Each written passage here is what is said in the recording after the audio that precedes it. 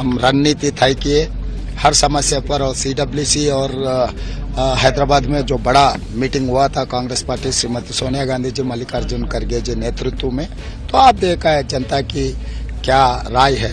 तो इसीलिए इसे technical process thirty November is polling date December third is result date November, uh, December 9th is uh, swearing in ceremony date. So all these are technical issues.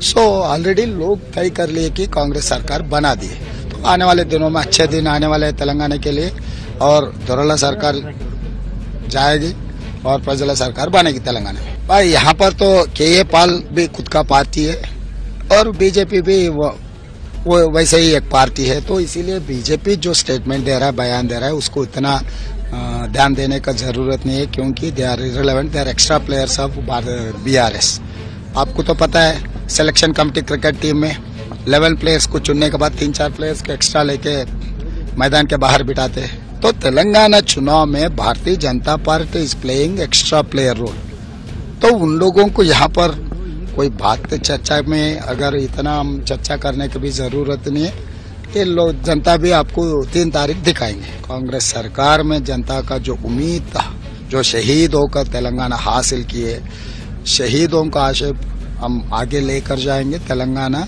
Development and welfare एक तरीका से हम लेकर जाएँगे।